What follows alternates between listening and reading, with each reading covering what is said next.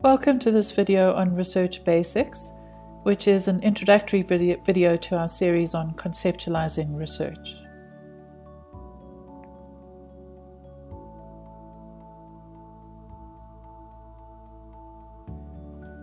What I wanted to do in this video is just bring to your attention a number of things that might just help you, uh, might just help make your journey a little bit easier.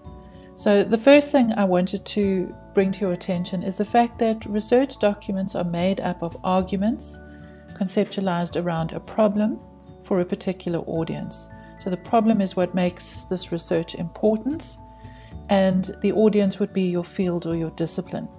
So, what we tend to do is we make claims and they become more or less truth like depending on the, on the evidence we present and how much that evidence convinces our audience.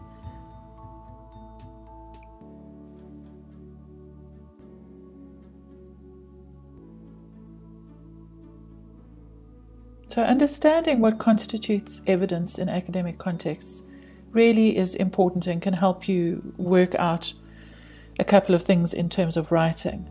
So, there are two sources of evidence in academic contexts. One is primary evidence, and this is why research papers tend to be, you know, the, the top of the pile.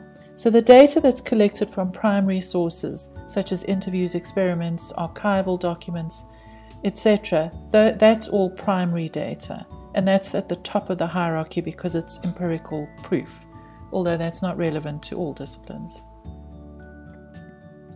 And then the second source of data is published sources. So, published sources are accepted as evidence because they've been through the peer review process. So, when an author submits a paper to a journal, it's, it's often blind reviewed where they don't know who the author is by experts in the field, and then if the paper is published, it's considered to be worthwhile so it carries some authority. So published sources count as evidence.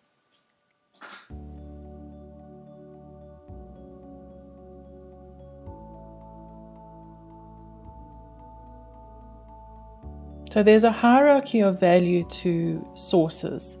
So published sources from top international journals will carry a lot of weight.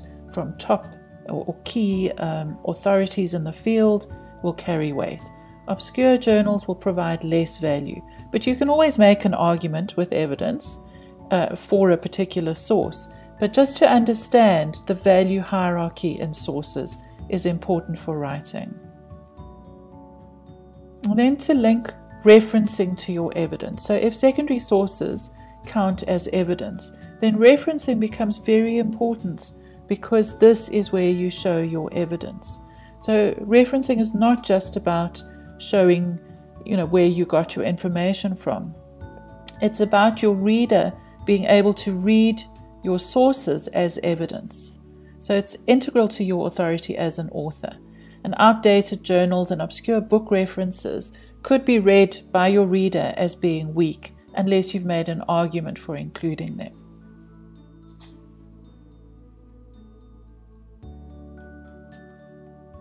The stronger the evidence for your claim, the more likely your reader is to buy your truths.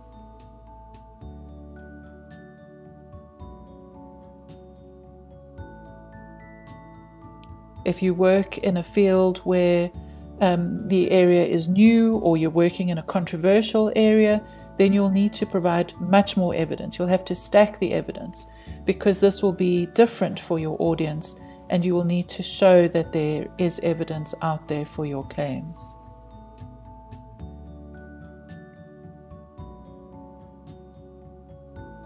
So, most papers tend to provide evidence as a combination of primary and, and published sources. So, research dissertations will do that. Um, but there are some fields, of course, where um, you know the the field is based on published sources, philosophy, for example. And if you're writing a literature review, then you would focus on published sources as, as your evidence.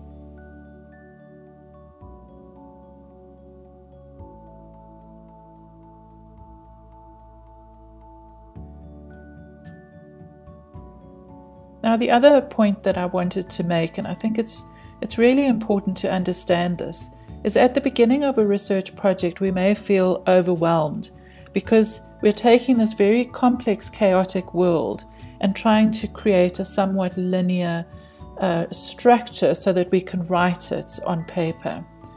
And although we, we tend to come to a research project right in the middle, what we're doing when we start a research project is to construct a beginning and then find an end.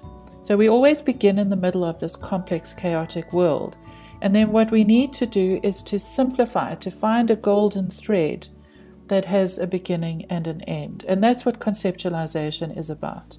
And it means transferring all the ideas that you have in your head, all these complex ideas, into a concrete research project that can be operationalized.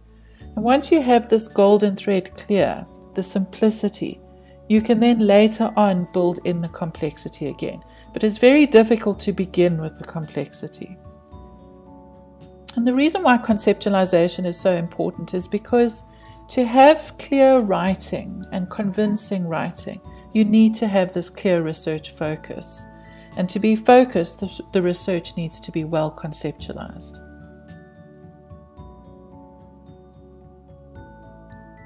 So, conceptualization includes identifying a researchable problem that is relevant to your audience, situating that problem in a body of literature, finding an appropriate research design, and framing the research with an appropriate conceptual framework.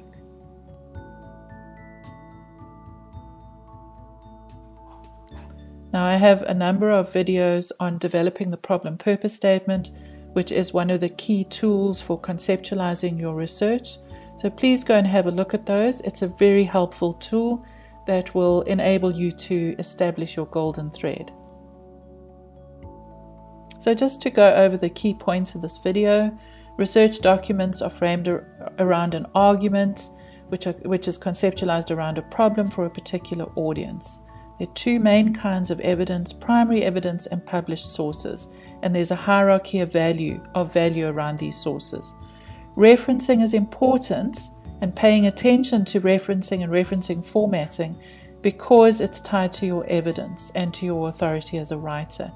And research conceptualization is about taking the chaos and finding a golden thread that has a beginning and an end.